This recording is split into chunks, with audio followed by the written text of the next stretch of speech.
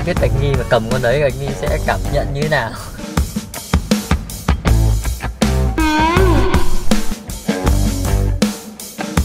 Hey yo, xin chào anh em. Chào mừng anh em đã quay trở lại với những màn trôn của Lê Hưng Ok. Trời ơi, mọi người ạ Xem lại cái video mà con lợn mi nó ghép ảnh mình ngủ với gái ấy Cảm giác nó cay thì thôi rồi ấy Từ từ. Lau cái camera đó Hơi mờ nhìn full HD cho mọi người quay trở lại. Xem cái clip con lợn mi nó ghép ảnh mình ngủ với gái ấy. kiểu cái cảm giác như tối hôm qua vừa đi chơi về ra ngoài ngủ một giấc dậy tự nhiên đang cơ tơ lơ mơ ngủ. Đùng cái nhìn thấy một tấm ảnh mình ngủ với gái. Anh em cho mình một cái cảm nhận là cảm xúc của mình nó như ở trong clip rồi đó cảm giác vừa cay cú nhưng mà cũng chả làm gì được bởi vì chả có cái bằng chứng gì để chống lại cả. Tất cả mọi thứ nó đều hướng về phía bạch mi tất cả nó không theo ý của mình. Mình không có cái tiếng nói gì trong cái lúc đấy cả mình chỉ cố biện mình sao để cho nó an toàn nhất thì thôi thôi. Chứ thật ra trong cái hoàn cảnh đấy mình thực sự là mình chả biết phải biện minh thế nào. Nó phả vào mặt mình cái gì mình phải chịu đựng cái đấy rồi cảm giác cái tức vãi trường luôn á. Thôi không thể để cho cái cơn bực tức này nó dai dẳng mãi. Hôm nay nhất định phải trả thù ai theo phe mình trả thù con lợn mi giơ tay lên hộ cái. Ok mình nghĩ là rất nhiều anh em. Theo phe mình đúng không? Cho nên là hôm nay mình nhất định sẽ phải trả thù con lợn mi và không phải để cho anh em phải đợi lâu nữa. Bây giờ mình sẽ bắt tay vào màn chôn.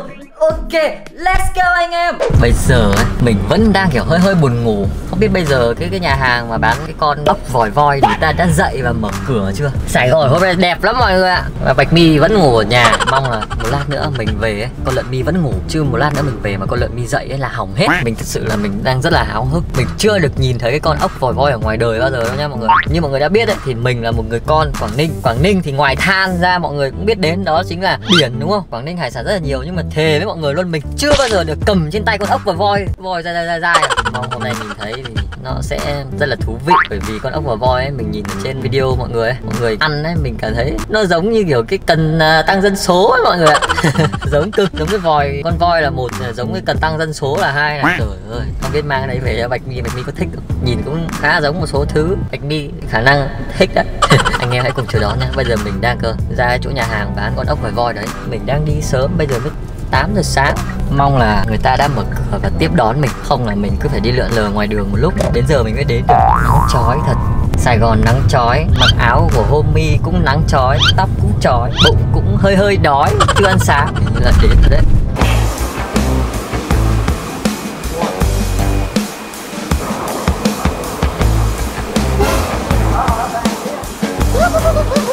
Có con này mình mà bỏ ra khỏi nước ấy, thì nó nó có bé lại không ạ? Nó to ra lại ngâm nước à? Đúng rồi.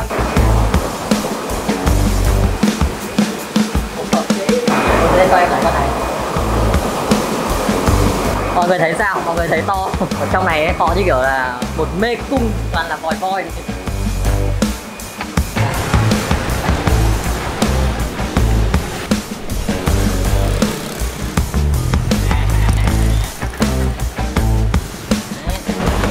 Yeah, let's go. Mọi người vừa nhìn thấy con đấy chưa? Trời ơi. Công nhận là nó giống thật đấy. Nó không giống của mình đâu. Nói chung là nó cũng giống. Đấy, mọi người tự hiểu. Đùa chứ cầm cái con đấy Mình không nhịn được cười luôn. Chứ không phải là nhìn nó kinh hay nó gì cả Mà nhìn nó buồn cười. Thề luôn. Không biết Bạch Nghi mà cầm con đấy Bạch Nghi sẽ cảm nhận như thế nào. Thề luôn là cầm nhá. Lúc nó mọng nước á ui, nó dài vãi trưởng. Nó dài thì thôi rồi ấy. Xong rồi cái lúc mà nó nó phun hết nước đi ấy, thì nó lại teo xuống. Nó cũng giống như cái gì đó ấy. đấy, nó kiểu lúc nó lúc nó thì nó cứng. Lúc nó phun hết nước ra thì nó lại xỉu xuống. Ôi, giống với trưởng. Lúc nó nhăn nhăn, nheo nheo ấy, nhìn. Lại càng giống thôi anh em đừng có nghĩ bậy bạ nhá. Nói chung đây là một con vật nó có một cái hình thù hơi bị kỳ quái một chút, Nhưng mà anh em đừng kỳ thị đó nha Một lát nữa mình sẽ cho mọi người chiêm ngưỡng cái con này lúc mà nó mọng nước nhất. Xem nó dài thế nào nhá. Lúc mình mua Chắc là mọi người nhìn cái khúc vừa nãy quay ấy Mọi người ông đủ thấy là nó dài như nào rồi, đúng không? Nó phải dài đến tận khoảng à, 4-50cm đấy. Dài lắm. Xong rồi tự nhiên lúc mình mang xuống dưới để cân ấy Thì nó phun hết nước đi rồi. Nó ngắm chỉ còn một này Cũng kiểu xem xem của mình ấy Ờ đùa thôi. Anh Bây giờ chúng ta sẽ về và xem con lợn đi còn ngủ hay không. Mình sẽ có một cái trò rất là hay. Nói chung là thử Bạch Mi xem như nào. Đấy, mọi người hãy cùng theo dõi mình nha.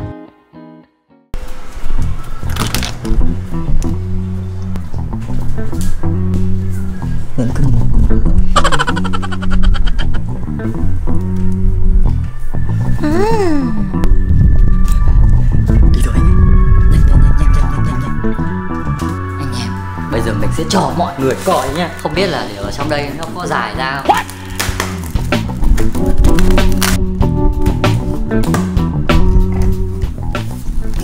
Đây là đá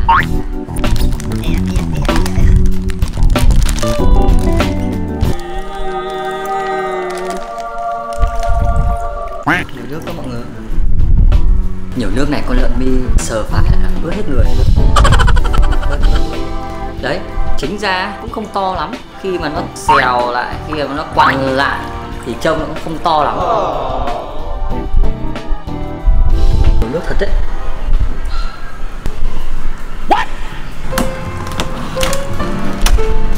Mọi người nhìn giống cái thứ gì đó thật đấy. Rồi chúng ta sẽ cùng xem bạch mi như nào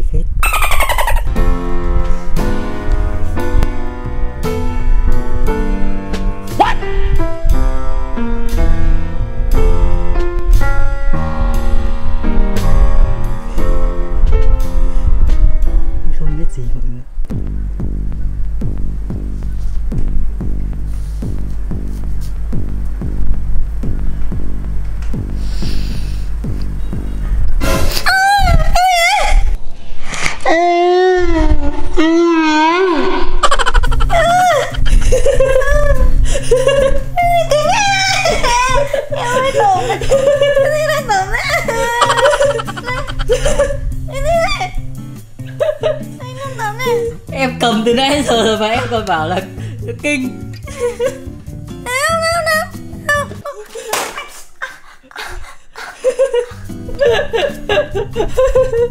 Con gì ấy? em cười. Em từ nãy giờ em cầm cái vòi của nó rồi mà em còn ngại à? Sao á Có có cọng ngọ ngọi không? không phải đấy nó còn sun sun đấy Mày rảnh quá. Eo ơi. Bạch vi vừa nãy cầm rồi sờ nắm nắm rồi còn vuốt vuốt vuốt vuốt. Em vuốt bao giờ? Ui nhưng mà bây giờ nó bị xẹp lại ấy chứ. Đầu tiên nó to lắm em ạ Nó to nó dài nữa. Này còn chưa to. Nope. Chưa. Đây đi ra đây anh cho em xem nó to nó dài như nào. Eo ơi, khiếp con này trông kinh thế. Con nhỏ Con nhỏ mày mày lúc nào? Mày cũng không để cho tao ngủ Ây à Tao sẽ đi xử lý mày. Xử lý mày. Anh bảo em đi ra cho ở đây nó to lên. Nó to lên được á? Nó to một cách bất ngờ luôn. Thế á? Đi ra đây. Hơi buồn cười nè Đây ra đây, đây cho vào đây cho vào đây em. Cho vào đây á? Đây, cho vào cái túi thùng nước này Cho vào đây là to ra? Ừ. Thế đó? Ừ. Cho vào cho vào cho vào. Đâu nó to chưa? Cùng xem nhá. Thì nó hấp thụ nước Nó, nó uống nước đã xong mới to được. Nhưng nó còn sống gì? Ừ sống mà Con ốc này có phải là con ốc to to mà người ta hay ăn ở trên trên trên mạng không? Đây là ấp vòi voi à Vòi voi. Không, ốc này không phải ốc vòi voi. Vòi gì? Vòi rồng. Vòi rồng Anh ơi sao mãi nó chẳng to gì cả? Nó phải đợi nó, nó uống nước các kiểu một lúc nó mới to lên được. Em chẳng thấy nó uống nước gì cả ấy. Sao mà nó, em nhìn thấy nó được? Này hay có khi nào em bóp chết nó rồi không? Vừa nay em nắn nắn có một tí thôi mà đúng không? Nhưng có thật là em bóp nó thật không? Có bom nó mạnh không? Ai mà nhớ được. Biết gì đâu. Anh em ạ Hình như con lợn thì nó bóp cái vòi con ốc vòi voi này Chết mất rồi. Sao lần nào mình mua con gì về nhà cũng chết đấy nhỉ? Hình như nó to ra một xíu ấy. Đầu có to không? Có em thử cầm lên nào Em thử cầm lên nào. Đây nó cũng to ra đây Vừa nó nhỏ lại mà. Ok anh em nhìn con lợn mi buồn cười quá kiểu tay ấy sờ sờ bóp bóp. Nắn nắn ok anh em thấy hay thì cho một like một subscribe nhá. Màn trộn hôm nay nó cũng bình thường thôi. Mình chủ yếu là để thử xem cái phản ứng của con lợn mi như thế nào khi mà đặt một cái thứ gì đó hơi hơi thân thuộc vào tay xem có xử lý kiểu thân thuộc không? Em cuối cùng nó vẫn đòi ăn cái vòi. Thế mà vừa nãy ui sợ quá sợ quá sợ quá. Xong bây giờ đòi ăn cái vòi. Chỉ bảo cho nó kinh thôi? Kinh á. Xong rồi vẫn đi. Thì ăn là phải cũng ăn chứ.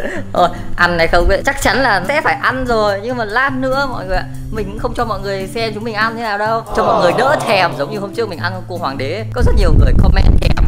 Cho nên lần này mình sẽ không quay cảnh chúng mình ăn nữa. Mình thấy áy náy lắm. Thôi bây giờ bye bye nhá